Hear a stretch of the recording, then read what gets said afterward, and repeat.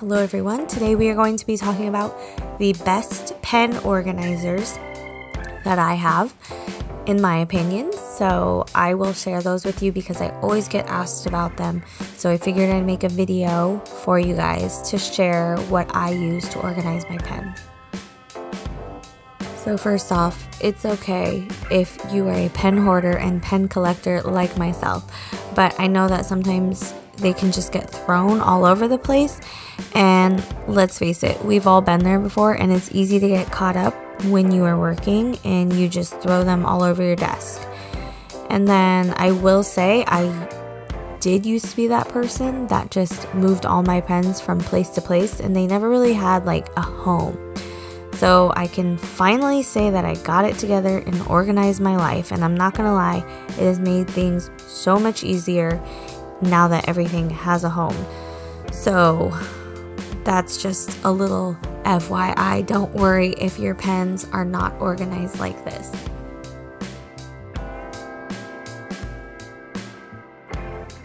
So first we are going to talk about these plain old cups and really you can use any kind of cups but I got these from Amazon and I really like these because, well, first of all, they fit in my Dreambox. And I know I'm going to get a lot of questions, but the storage can the huge storage box that you see is called a Dreambox and I will leave a link below for that. But anyways, back to the cups. They are a perfect rounded square shape so they fit together in the Dreambox and they also hold a ton of pens. So these are good for pens that can be stored vertically. Next up, we have the tool cubby from the Create Room company, who is the company who makes the Dreambox. And these tool cubbies hold a ton of pens, and it's perfect because they can be stored horizontally. And then you can also store the whole entire tool cubby horizontally or vertically. So I actually have four of them, and I store them both horizontally and vertically.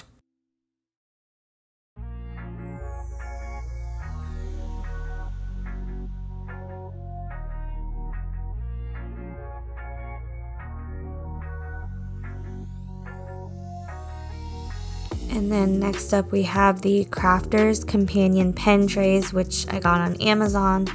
And I will leave links for all these so that you guys can see them for yourselves and it comes with six trays in a set. And these ones have separate compartments to store each individual pen, which makes it really easy to find and it makes it easy to take them out and replace. And then this is also great for pens that need to be stored horizontally. It takes up a little bit more space and fits less pens, but it looks really nice to display pens. So there's some give and take on that.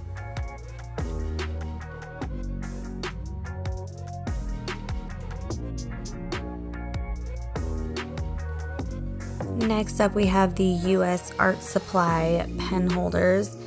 And these are just plastic and they're great for storing pens vertically. They're very inexpensive and they hold a ton of pens. And it's nothing really fancy, but it definitely just gets the job done. I use them for my Karin markers. I have a couple different sets of Karin markers and they need to be stored vertically. So this is perfect for it. I do use some glue to glue them together because they do come apart fairly easily, which can be frustrating.